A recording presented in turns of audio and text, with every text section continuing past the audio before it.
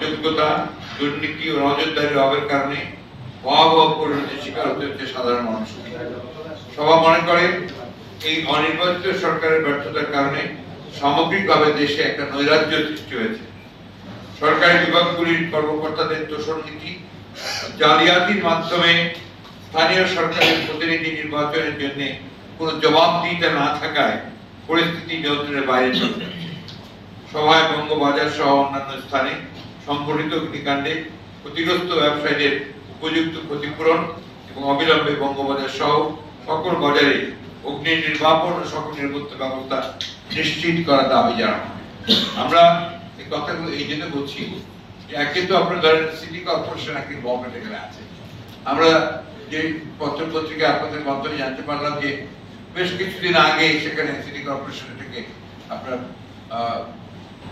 ঠিক নিরাপদ নয় এই ধরনের আপনার ঘোষণা দিয়ে সেখানে তাদেরকে খালি করার জন্য তাদেরকে ঠিক করা উচিত। কিন্তু ইন্টারেস্ট কারও যেন কোনো মাথা ব্যথা নেই।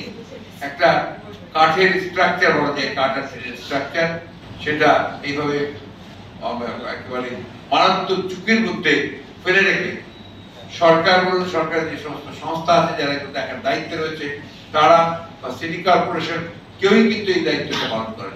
ফলে সিটি কলেজে যে ঘটনা আমরা দেখছি সেই ঘটনা কিছুদিন আগে ঘটেছে। এবং তারপরে প্রায় একুশ জনের প্রাণ গেছে। এখানে আল্লাহ কেউ প্রাণ যায়নি কিন্তু যে পরিমাণ ক্ষতি হয়েছে সেটা ভয়ঙ্কর ভাবে এই নিম্ন আয় মানুষগুলোকে অথবা আপনার সাধারণ ব্যবসায়ীদেরকে কিন্তু প্রচণ্ড ভাবে ক্ষতিগ্রস্ত অনেকে এখানে নিঃস্ব হয়ে গেছে। এবং সেটা ঈদের আগে অর্থাৎ যখন তারা তাদের সর্বস্ব পুঁজি বিনিয়োগ করেছে। এই বিষয়গুলো কেউ দেখছে না। যাদের দায়িত্ব দেখার তারা দেখছে না। তারা এগুলো সেই ধরনের কোনো ব্যবস্থা তারা গ্রহণ করেনি। দ্বিতীয়ত হচ্ছে যে, কি দুর্ভাগ্য এই দেশে, যেটা আমি আগে বলছি আপনাদের, যে এত উন্নয়ন, চতুর্দিকে আপনার উন্নয়নের জোয়ার বয়ে যাচ্ছে। অথচ অগ্নি নির্বাপনের জন্য যে আধুনিক ব্যবস্থা করা দরকার, সেই ব্যবস্থাগুলো কিন্তু এখানে নাই। আগুন লাগানোর সঙ্গে সঙ্গে আপনার যে কাজগুলো ফায়ার ব্রিগেড করতে পারে, সেজন্য ইকুইপমেন্টসই তাদের নাই। এটা ফায়ার ব্রিগেডের দোষ না। এটা হচ্ছে যারা সরকার চালাচ্ছে, যারা এটার জন্য দায়ী আছে, তারা আগে জনসাধারণের সেবার জন্য যে কাজগুলো দরকার, সেটাকে তারা গুরুত্ব দেয় না।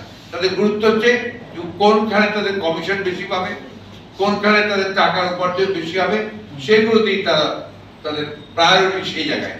এই কারণেই আমরা যেটা বলছি যে এটার জন্য দায়ী সম্পূর্ণভাবে সরকার এবং সরকারকে এই দায় নিয়ে এই পদত্যাগ করা উচিত। তৃতীয়ত আমরা বলছি যে সম্প্রতি German media house Deutsche Welle এই একটা সোশ্যাল মিডিয়ায় একটা আপনার র্যাবের উপরে একটা ডকুমেন্টারি বেরিয়েছে। এটা খুব সেন্সিটিভ হওয়ার কারণে আমাদের বেশিরভাগ পত্রিকা এটাকে আপনার কেউ নিউজ করেননি। কেউ বলেননি সেন্সিটিভ হলেও এটা তো বাস্তবতা। ডয় যে বের এটা করেছে নেতৃত্ব করেছে, এটাকে সে ধরনের আপনার কোনো নেগেটিভ কোনো কিছু এখন পর্যন্ত যে অস্বীকার করা বা কোনো কিছু করা, সেটা কিন্তু আসেনি। এবং আমরা জানি যে এই ধরনের ডকুমেন্টারি যখন আপনার কোনো মিডিয়াতে আসে সে ইন্টারন্যাশনাল মিডিয়াতে আসে, তারা কিন্তু সমস্ত এই দায়িত্ব নিয়েই কাজটা করে। এখন এই ডকুমেন্টের যেটা প্রমাণ করেছে যে অনির্বাচিত সরকার আইন শৃঙ্খলা বাহিনীকে অবৈধভাবে ব্যবহার করে ক্ষমতায় টিকে থাকার জন্য এই কাজগুলো করছে।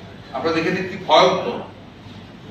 কি ভয়ঙ্কর যে যদি এমন হয় যে সরকারের সর্বোচ্চ মহল থেকে শীর্ষ পর্যায় থেকে যদি নির্দেশ দিয়ে সমস্ত কাজ করা হয়, তাহলে এই ধরনের সংস্থাগুলো কীভাবে ভয়ঙ্করভাবে জনগণের মানবাধিকার তারা কীভাবে লঙ্ঘন করতে পারে? আমরা যে কারণে আপনারা দেখেছেন যে র্যাবের উপরে যে মার্কিন যে স্যাংশন এসছে, সেই স্যাংশনটার ব্যাপারে কিন্তু আমরা বলেছি যে এটা আমাদের লজ্জা, বাংলাদেশের লজ্জা যে একটা সংস্থা তারকে আজকে বিদেশিরা, অর্থাৎ মার্কিনীরা তারা স্যাংশন দিচ্ছে, যেখানে সম্পূর্ণভাবে মানবাধিকার লঙ্ঘন করা হচ্ছে, জনগণকে অন্যায়ভাবে, বেআইনিভাবে হত্যা করা হচ্ছে এবং সেটা একটা রাষ্ট্রীয় বাহিনীকে দিয়ে করা হচ্ছে। এটা আমরা বলেছি যে সভা অবিলম্বে সংবিধান বিরোধী, মানবাধিকার বিরোধী, অপরাধমূলক কর্মকাণ্ড বন্ধ করার জোর- দাবি জানায়। সভা র্যাব কর্তৃক বেআইনিভাবে গুম, হত্যা, বিচার, বহির্ভূত হত্যাকাণ্ডের তীব্র নিন্দা জানায় এইসব সংবিধান মানবাধিকার লঙ্ঘনের জন্য দায়ী সরকারের পদত্যাগ দাবি করে। সবাই এই বিষয়ে বিস্তারিত তথ্য সম্বলিত প্রতিবেদনের ভিত্তিতে সাংবাদিক সম্মেলন করা হবে, সেই সিদ্ধান্ত নেওয়া হয়। সভায় বিএনপি অন্যান্য বিরোধী দল ঘোষিত কর্মসূচি পালনের সময় দেশের বিভিন্ন জেলায় বিনা অজুহাতে আওয়ামী, সন্ত্রাসী ও পুলিশের বিশেষ করে নাটক খুলনা, রাজশাহীতে হামলায় আহত পুলিশ কর্তৃক নেতা কর্মী সমর্থকদের গ্রেপ্তারের তীব্র নিন্দা জানানো হয়। বিশেষ করে নাটোর জেলা বিএনপির ভারপ্রাপ্ত আহ্বায়ক শহীদুল ইসলাম বাচ্চু ও রাজশাহী জেলা আহ্বায়ক আবু সাইদ চান গ্রেপ্তারের তীব্র নিন্দা জানানো হয়।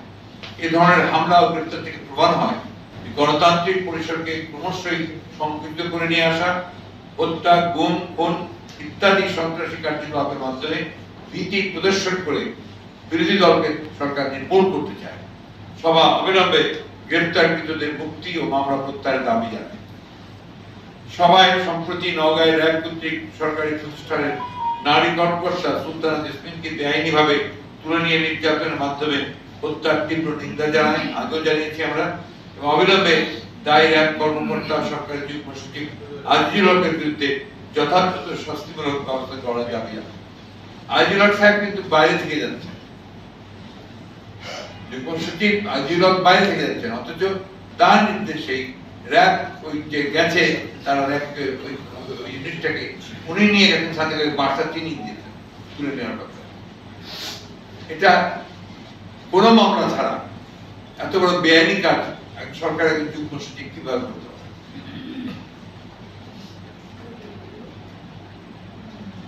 সবাই ডিজিটাল সিকিউরিটি অ্যাক্ট প্রয়োগ করে জনগণের স্বাধীন মত প্রকাশ মত প্রকাশের স্বাধীনতা হরণ, গণমাধ্যমের স্বাধীনতা হরণ, সাংবাদিক ও নাগরিকদের বিরুদ্ধে মামলা, গ্রেপ্তার ও নির্যাতনের তীব্র নিন্দা প্রতিবাদ জানানো হয়।